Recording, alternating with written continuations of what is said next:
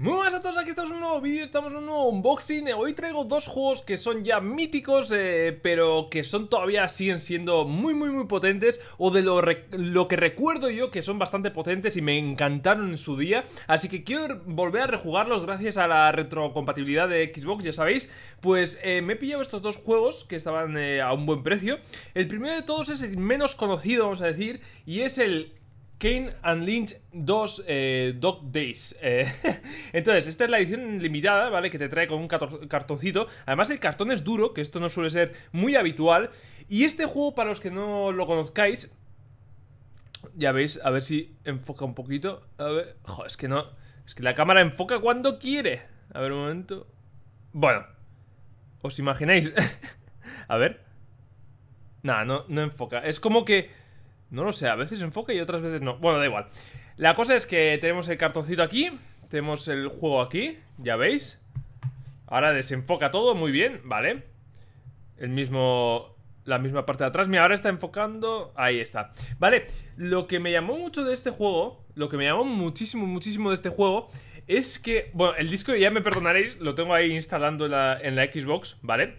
Eh, lo que me llamó mucho de este juego es que cuando estabas jugando eh, tenía como un aspecto de... Eh, de cámara de cámara de, de seguridad. No, no, no, recuerdo muy bien cómo era pero sé que eran como ángulos eh, fijados con como cámaras de seguridad o no, no, sé cómo coño era pero me acuerdo que se me quedó muy grabado en la cabeza varias escenas del juego y eso siempre es bueno, ¿no? O sea, cuando recuerdas algo bien en, plan de, ostras, eso, eso no lo hizo ningún juego, ese es el único juego donde vi hacer eso, ¿no? Algo. Y, me quedó en el recuerdo. Entonces, eh, sé que es un juego corto. Sé que es un juego que a la crítica no le gustó demasiado.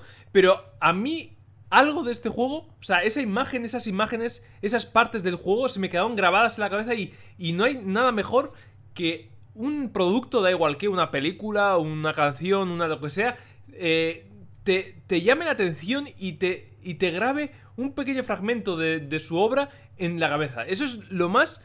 Eh, lo más a lo que puede aspirar un producto. O sea, si cogéis cualquier juego que habéis jugado, eh, yo que sé, mm, por ejemplo, bueno, no quiero poner ejemplos porque es que si no parece que estoy atacando ese juego, no. Un ejemplo de, de un juego que hayáis jugado, empezad a recordar ese juego y decís, ostras, ¿y cómo era aquello? ¿Cómo era ese juego? ¿Cómo era no sé qué? Eso es que el juego pasó sin pena ni gloria. En cambio, eh, recuerdas eh, GTA San Andreas, ¿sabes? Y te acuerdas de, la plaza esa donde vivía eh, CJ, eh, te acuerdas de, del final del juego, que es muy mítico, te acuerdas de, ir al gimnasio, hacer pesas, ponerte gordo, ponerte musculoso, comer, te acuerdas del taller de tuning, te acuerdas de...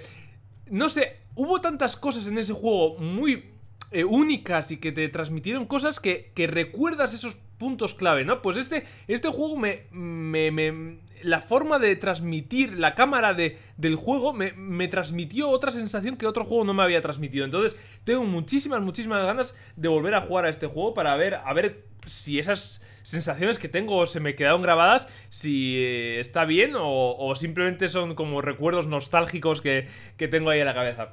Y el segundo recuerdo nostálgico viene de la parte de Doom 3 BFG Edition. Un juego mítico que supongo que habréis jugado un montón de gente. Yo lo tenía en PC este. Es eh, es súper mítico este juego. De hecho, es el, Doom que más he jugado eh, aparte del nuevo. El nuevo es una maravilla. Pero este fue el que más jugué. Al 1 sí que jugué, al 2 también, pero, pero bueno, ya fue, fue más adelante en emuladores y tal. Em, la verdad que una maravilla. Lo mismo, cartoncito, ¿vale? Y, las cajas están en perfecto estado, ¿eh? O sea, mira que son juegos relativamente eh, viejos, por decirlo de alguna forma, que ya tienen años. Pero es que las cajas están impecables, o sea... Impresionante. Y esto, pues... Pues... Uy, esto... Ah, está al revés. Ahí está. Y esto, gracias a retro, retrocompatibilidad de Xbox, pues, pues puedes volver a jugarlo. Y eso es maravilloso. O sea, esto es maravilloso. Volver a jugar a un juego es maravilloso. Eh, a ver, que la Play 3 la tengo, pero no, la tengo aquí. Entonces, pues no puedo jugar a los juegos de Play 3. En cambio, la, la Xbox 360 también la tengo donde tengo la Play 3. Tengo aquí la One y puedo jugar tanto a las de la One como a los del 360. Entonces, es, es cojonudo. Es muy cojonudo. Eh, recomendado también, ¿eh? Muy recomendado. El Doom 3 también... Bueno, tengo un recuerdo súper bueno del Doom 3. Así que muy, muy, muy recomendado los dos juegos. Aunque bueno, tengo que ver, volver a rejugarlos para ver a ver si es nostalgia o es de verdad una buena sensación que me ha quedado, ¿no? Pero bueno, espero que os haya gustado este, estos dos unboxings que, que son un poquito distintos. Eh, la verdad que estos juegos Supongo que no veréis muchos unboxings de estos juegos eh, hoy en día y es normal que ya han pasado años y además son de juegos de todavía más viejos, por ejemplo el Doom, el Doom 3, eh, este, esta edición salió como una especie de port o una especie de, de remaster o una especie de edición especial o algo así del Doom 3 original que salió años atrás. Y, y bueno, un poquito más. Espero que os haya gustado. Si os ha gustado un like, os agradecería muchísimo. Si podéis compartirlo también. Y nos vemos a la siguiente. Un saludito y adiós.